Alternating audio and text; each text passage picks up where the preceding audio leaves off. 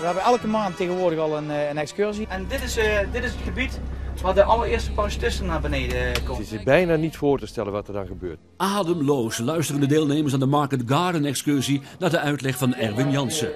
Die al jaren strijdt voor meer bekendheid van de betekenis van Vechel tijdens de operatie Market Garden. De zwaartepunten van de gevechten hebben hier in Vechel eh, gelegen. En juist net de jongens die daar uh, hun leven gelaten hebben, die worden inderdaad nergens erkend. En daar vechten wij voor.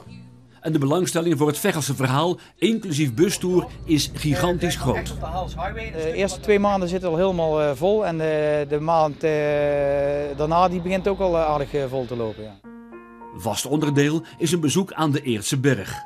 En op 24 september 1944 heeft een gruwelijke bajonetcharge uh, plaatsgevonden. Toen de Amerikanen erachter kwamen dat er Duitse uh, parachutisten zaten die ze al in Normandië tegengekomen waren. En toen knapte er iets bij, uh, bij de Amerikanen, werden de bajonetten op het geweer gezet en vond er wilde, wilde charge plaats. Ik moet die schutter uitschakelen, ik moet die schutter uitschakelen. En die, die steekt met zijn bajonetschutter in zijn hals.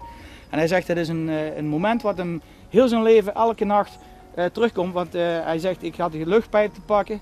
Hij zegt, en je hoorde die jongen, ja, die schreeuwde naar, naar zijn moeder. Uh, Hilfe, moet hij, uh, ja, de, de, de reddeloosheid, de radeloosheid, de angst, die, die, die spat daar denk ik vanaf. De reis terug in de tijd gaat door. We zijn bij de Eerdense molen. Het is 18 september 1944. Jacob Wingard, dat is deze jongen, hij was toen 22 jaar oud, heeft hierboven in deze molen leven gelaten. De 22-jarige soldaat stond op de uitkijk bij dit raam. Een schot klonk. Een Duitse kogel ging dwars door zijn helm en hoofd en zit hier in de muur.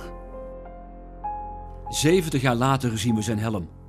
Op de helm zit nog steeds een noodverband dat in 1944 is aangebracht.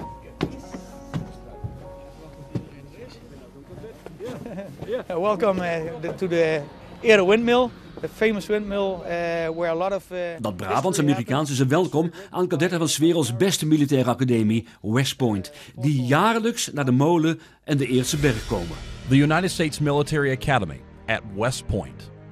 En die hebben in hun, uh, in hun theorie, dus in de tactiek, uh, tactische theorieën, uh, bespreken die gevechten die eigenlijk vanuit de verloren positie omgeturnd worden in een, in een winst.